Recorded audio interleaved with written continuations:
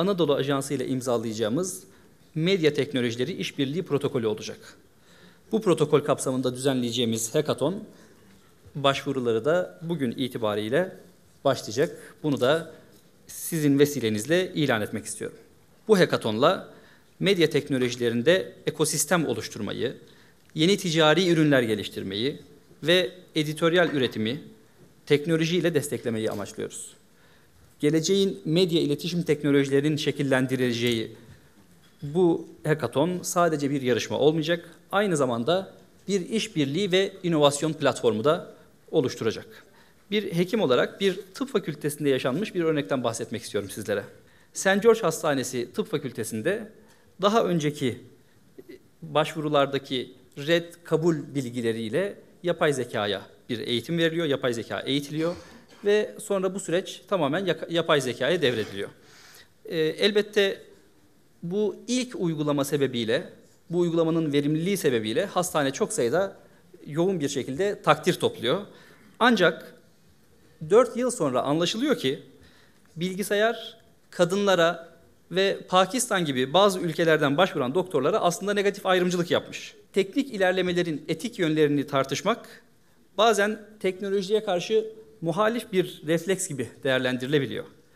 Ancak etik filtreden geçmeyen teknik ilerlemeler insanlığa refah getirmesi beklenirken zulme sebep olabiliyor.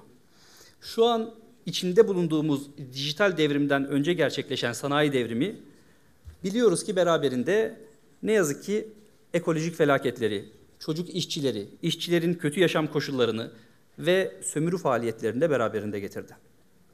İnsanlık olarak bundan ders çıkarmalı ve adalete, insanlığın ortak refahına katkı sağlamayan ilerlemenin aslında bir değeri olmayacağını bir kez daha hatırlamalıyız.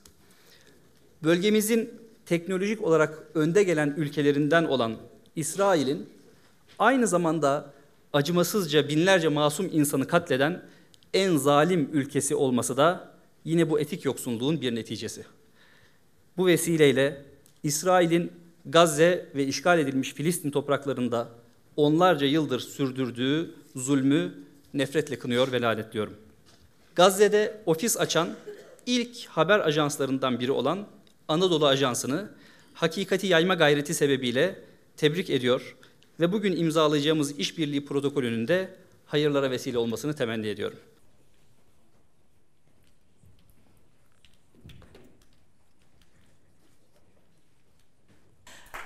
Hayırlı uğurlu olmasını diliyoruz. Çok teşekkürler.